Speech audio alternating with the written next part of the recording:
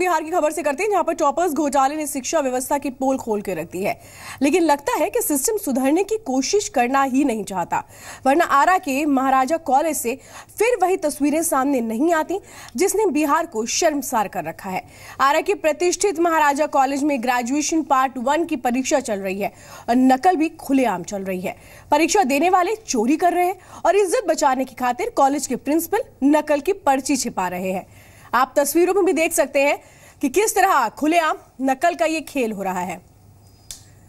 तो टॉपर्स को लेकर ही सुर्खियों में आया बिहार।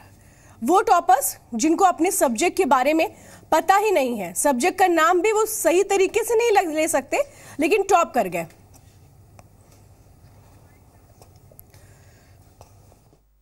कभी कई लोग प्रयास करता है तो हम लोग कंट्रोल कर लेते हैं। उसको कदाचार पूरा नहीं साफ़ सुथरी परीक्षा हो रही है। पहले से बहुत साफ़ सुथरी हो रही है। आज शांतिपूर्वक हो रही है और जरा कोई प्रयास करता है तो हम लोग ले लेते हैं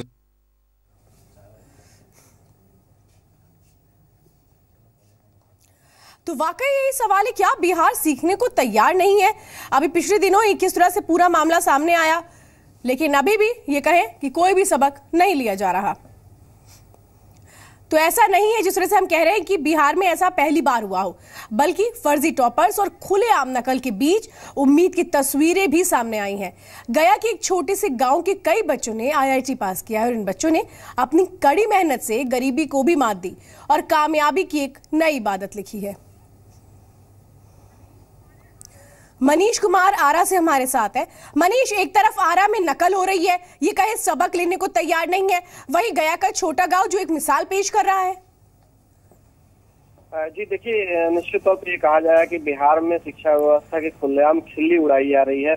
आरा की ये जो तस्वीर है, ये पहली तस्वीर नहीं है। इससे पहले भी नकल की कई तस्वीरें हम लोगों ने सामने ला रखी है, जहाँ खुलेआम लोग नकल करते हैं और ये नकल करना अपनी बपौती समझते हैं।